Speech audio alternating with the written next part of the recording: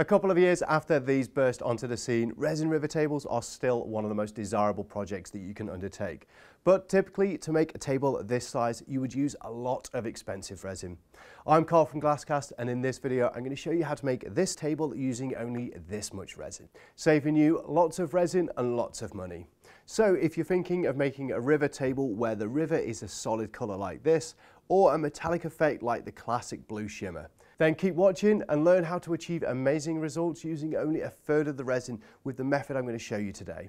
In this video, I'll explain the principle of the method and go through working out just how little resin you can make your table with. I'll prepare the main planks and then I'll show you how to make the infill, which I'll be doing with basic plywood. I'll talk about pigments and effects and then I'll go step by step through the various stages of the pour before finishing the table to a professional standard.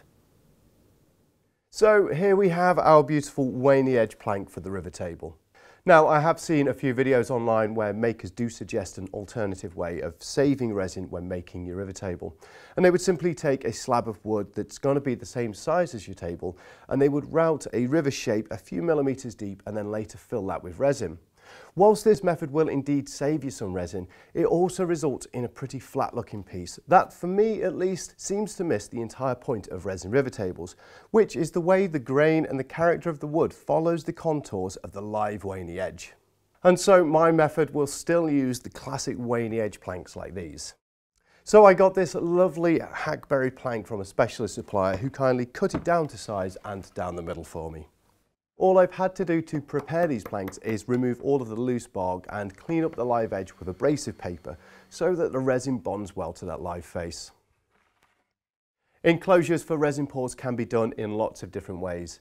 In the past we've shown using polypropylene plastic for the base and upstands and also using timber battens covered in release tape for the upstands. For this project, I've made the enclosure using melamine boards, which is also known as furniture board and is readily available in most DIY shops. I've assembled the enclosure by screwing the upstands into the baseboard and then I've filled the join lines with some filleting wax to prevent any resin from leaking out. A ball end tool like this is great for pressing the wax down into the gaps and getting a smooth finish. A plastic wedge like this can be used to scrape off any excess. Then to clean up any residue, simply rub down with a ball of wax to leave a neat watertight seal. Although resin generally won't stick to melamine, it is much safer to use some sort of release agent just to make sure. Here I'm using the RW4 spray wax, which is super easy to apply. I'll simply cover the entire surface of the enclosure with one coat, paying particular attention to the corners. Up to this point then, everything is exactly the same as a normal river table setup, but here's where things do get a little bit different. Behind this resin saving technique is the idea that if you are using solid coloured resin, like the jet black pours that you see a lot of these days, or a solid metallic colour like the metallic blue, then it really doesn't matter what's going on underneath the surface of the resin. And in fact, it seems like a real waste to have a solid slab of expensive resin when you could be bulking out the middle with just about anything. So that's exactly what we're going to be doing. We'll be pouring a thin layer of resin for the bottom, let that cure, then seal down a big piece of plywood, which will take up the majority of the volume of the river. And then finally, we'll pour the rest of the resin for the sides and top. So the, what you've really got is a thin layer of resin around a plywood core. The amount of resin that you're going to need is of course going to come down to the dimensions of your river, including the length, the depth, the width and how much that's going to change along the table. The other factor will of course be how much volume you can take up with the plywood. Ideally, what you want to aim for is about 5 millimetres or quarter of an inch of resin all the way around the plywood.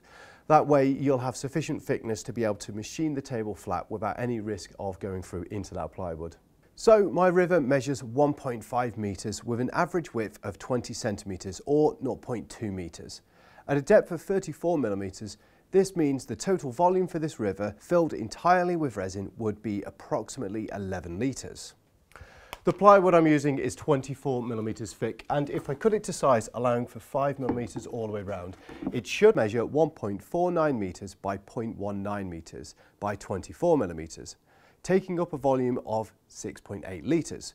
So if I subtract the volume of the plywood from the total volume of the river, I should only need 4.2 litres, which is about 4.2 kilograms of resin to complete this project.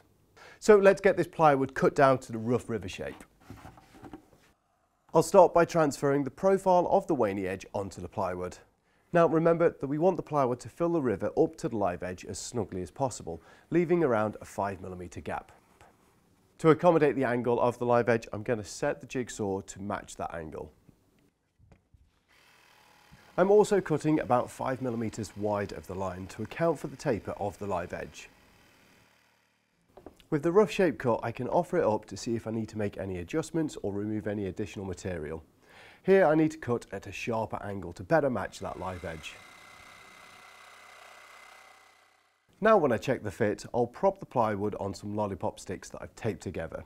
This way I can simulate the bottom 5mm layer of resin. Obviously the fit doesn't have to be perfect. There will be larger and smaller gaps. As long as we're aiming for at least 5mm all the way round, we should be good. Here I'm also making a plug for this large knot hole. If the knot was smaller I probably wouldn't bother, but unfilled, a hole this size might use up to 300 grams of resin all by itself. So here we have all of the wood ready for the resin pour. Our plywood insert is going to take up the majority of the river cavity. And we've left a 5mm gap underneath, around the edges and on top, so that when we do the pour, it will be completely encapsulated in the resin. We'll start by pigmenting all of the resin at once so that it's consistent colour.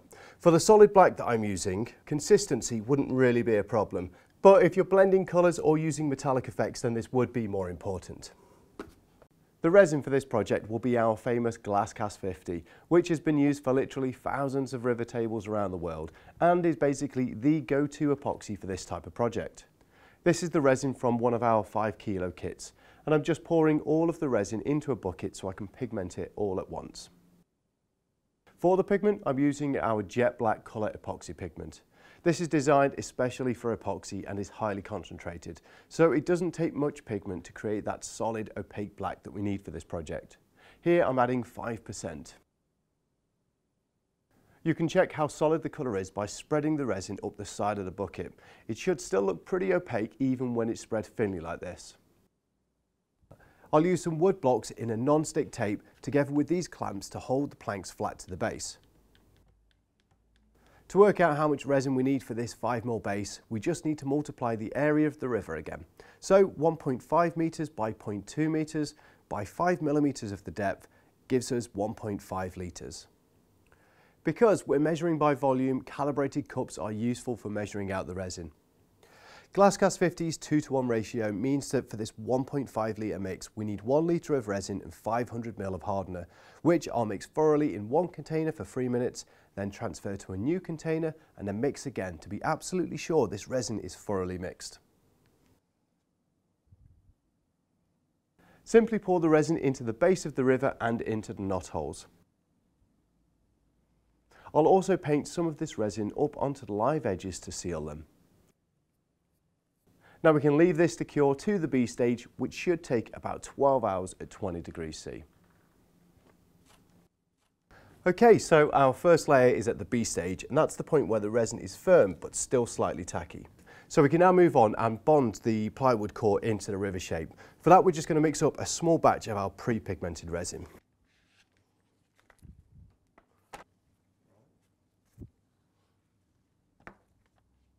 Pour the majority of this resin into the river and knots.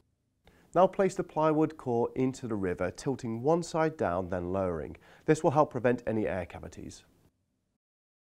Firmly press the core down along the whole length. To finish this stage off, we'll seal the plywood by painting the sides and top with the rest of the resin. Once again, leave it to cure for about 12 hours. Okay, so the bonding and sealing resin has now reached the B stage, so we can move on and do our final pour where we completely encapsulate this plywood core. If we got our sums right at the start, this pour should use all the remaining resin that we pigmented.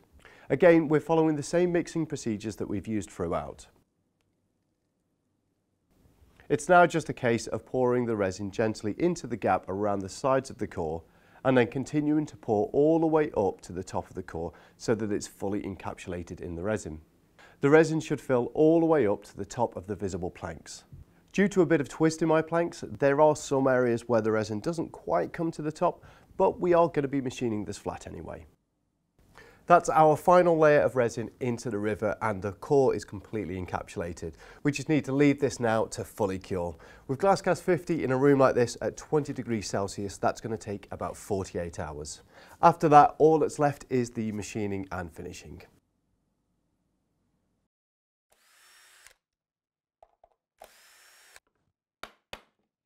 As you can see, the resin comes away very easily from the melamine barriers and base. Machining the surface of the table is the same process that you'll see us using in our original river table tutorial. Just using a router sled set up on a flat surface and then gradually working your way down, machining through the surface until it's completely flat. As mentioned earlier, despite clamping them down, I did end up with a bit of twist in my planks, which has meant I needed to take a few millimetres off in places to make sure the surface is completely flat.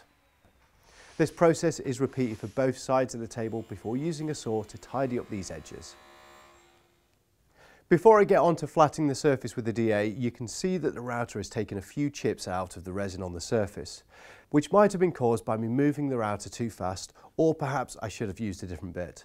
But this is no problem, and if you do get any chips like this, just mix up a small batch of resin, drizzle it into these holes and let it reach a full cure before sanding. For the sanding, I'm using a dual action orbital sander, or DA, which makes light work of a job like this. These Abranet discs are like a sort of mesh abrasive, which resists clogging, making the job much quicker and you can see the machine marks quickly disappear.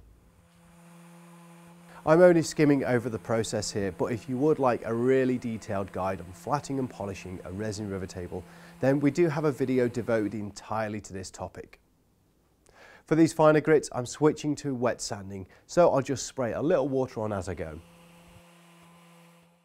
So we are almost there now, but before I go on to polishing the resin with the compound, I always like to protect the wood by sealing it with some Danish oil. This just means that when we do start the polishing, the compound itself won't stain the wood. I'll apply two or three coats, simply wiping the oil and then leaving it to dry off between coats. There are of course lots of other wood finishes that you might want to choose. With the wood protected, the last step is to bring the river to a full gloss using a polishing compound. Starting off with NW1, which is a coarse compound designed specifically for tough plastics like epoxy. And a polishing machine and pad like this makes the polishing process much quicker than attempting it by hand.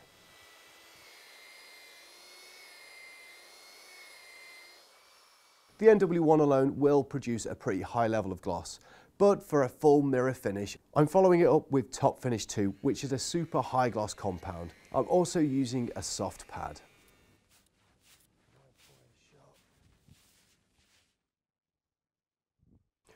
So there we have it, our finished river table, and I absolutely love how this one's turned out. That classic combination of the natural grain and lines of these live edge planks against the sleek glossy black resin. And the best part of all, by encapsulating that plywood core, I've created this stunning table using a third of the resin. That's a third of the cost and a third of the resources. As ever, the Glasscast 50 resin was a joy to work with and is absolutely perfect for a project like this. It's available from glasscastresin.com along with everything else you've seen me use today including the pigments, spray wax, abrasives and polishes. I hope that you've enjoyed this video and I genuinely hope that it starts a trend towards reducing the amount of resin that's used in tables like these, especially if doing so makes your project more affordable and accessible. If you have any questions, please leave a comment below and I'd be happy to answer them. Thank you very much for watching and I will see you next time.